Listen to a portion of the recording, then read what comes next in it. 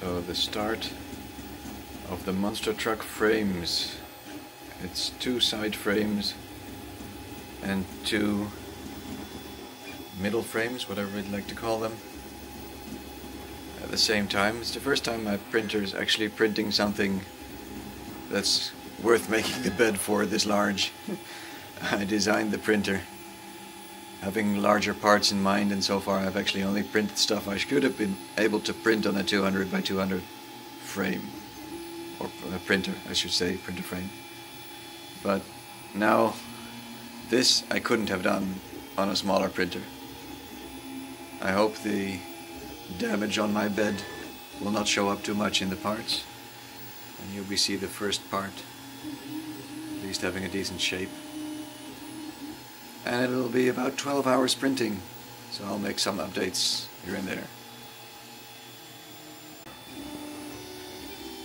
An hour and 20 minutes into the print. Parts are shaping nicely. And this print should take me about 12 hours, which seems like a lot because it's not a lot of material going through.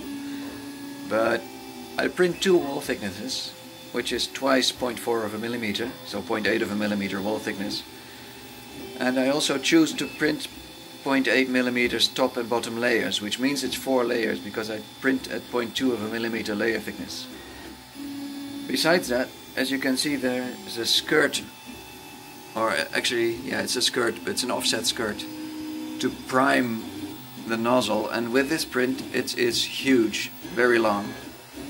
And besides that, I make two lines to prime the nozzle, and I printed three layers thick, which is completely unnecessary and overkill. But I do that because my bed adhesion is very good. And I like my bed adhesion to be very good. But if I don't make a substantial skirt, it never comes off. I have to peel it off millimeter by millimeter. Now that I have a substantial, actually extra part printed, the skirt, I'm able to really peel that off easily. It usually comes off in one or two parts. So that's why I do that. And print speed is relatively decent. I print at 70 or 80 millimeters a second officially, but all the walls are of course printed slower and it's doing a nice job so far so um, I did use uh, I do use uh, mild cooling there's a cooling fan on the towards the nozzle uh, usually at PETG I don't do that it's not necessary but because I'm going to have to bridge huge ends I put on 60% of fan when we get it to higher levels. And as you can see, the fan is currently at 15%. I never start the fan up to a higher percentage. I only make steps of 15%. So the first step is 15%, and then a little later in the print I go to 30, then I go to 45, and then I end up at 60 in this case. Because if I were to switch up to 60% from zero, then the nozzle cools down almost 7 degrees before the system is reacting. Of course, the controller will be reacting faster, before the heat is back on, and then we have an overshoot again, if I make steps of 15 uh, percent, then the nozzle hardly notices the difference and falls a couple of degrees and corrects really fast and doesn't really overshoot. So that makes it very nice to do. So, well, I'll see you in the next update.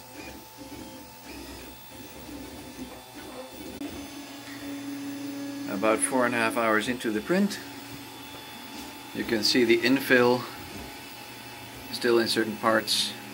Most of the parts are being covered at the moment. And this is also the reason I use a lot of upper and lower layers. So the infill, which has to support the upper layer, gets a good coverage. If you only put one or two layers over, it's usually ugly. And now with three or four, four in my case, it becomes less ugly. It doesn't become very beautiful because I'm printing PETG, not PLA. But PETG should be stronger, which in this case printing a monster truck RC car. Strength is something I appreciate in this case.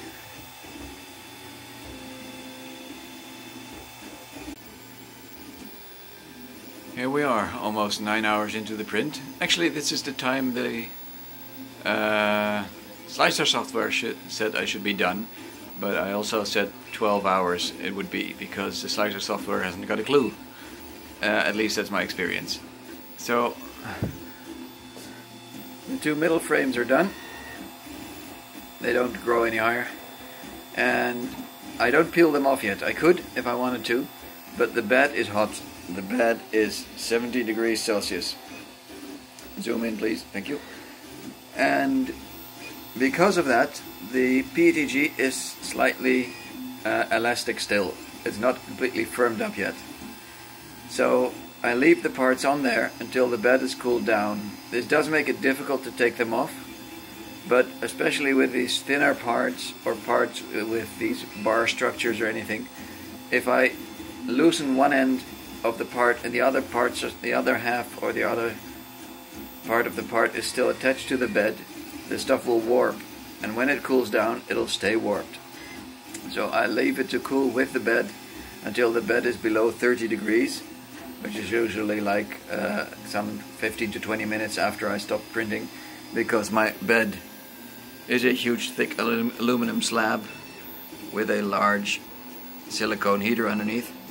It's 1.4 kilowatts, it's a big one. But the whole aluminium slab is 420 by 420 by 10 mil. So it does have something to heat up and after it's heated up it takes a while to cool down.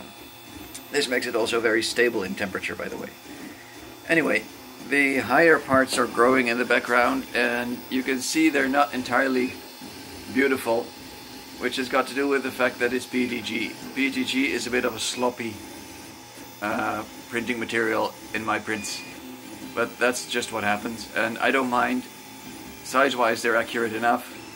And they, yeah they don't look as good as, P as PLA but they should be a lot stronger which in this case I don't mind building a monster truck.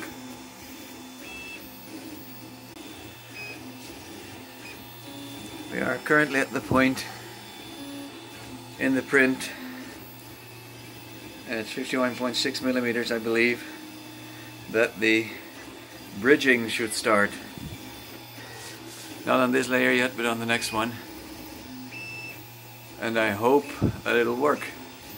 Because if it doesn't I have to think of something else and PETG is notoriously bad at bridging. Because it's flowing too much as a liquid. So we're working on the here we go 51.8 focus no focus well it's 51.8 you better believe it and it draws a little string between and It looks like little strings. It actually looks like there's some bridging material there. It's weird. It's not beautiful yet, but it looks like the start of something.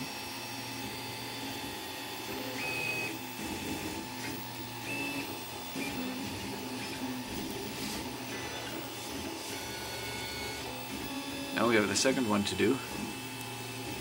You can meanwhile take a look at the first one.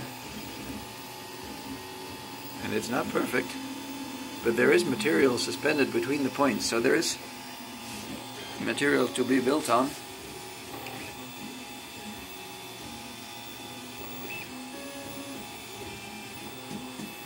I think it's going to work. Wishful thinking, that's called. Oh dear. Yeah, there is material there. So there isn't something there. It's not beautiful, but there is something there to build the next layer onto, I think.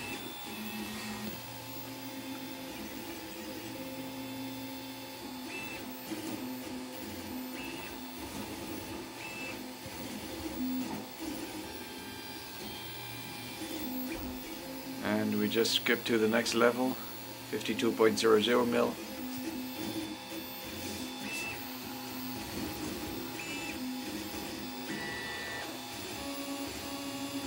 Yes material is being deposited onto the previous layer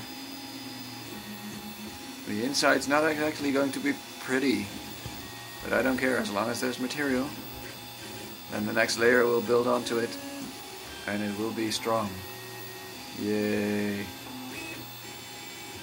So far so good. This is above expectation. I was thinking this was the point the print would fail. But up to now, it seems like the material is staying in there. Now it's putting some more material on between the strings. And this is why I put the cooler on. I could have switched it on way later, so, but anyway. I hope that the suspended strings have cooled down enough so that they're hard and the next layer will actually stick to them. And it looks like that's the case. The sun's going down, there's not a very lot of light in this room, so I hope you can actually see that there's material in between there. Hang on, I'll switch on a little light, see if I can get some more detail. Here we go. This is with the light on.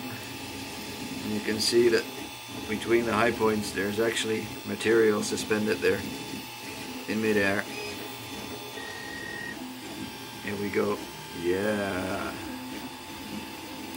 It's working. Great. Yee! I'm happy.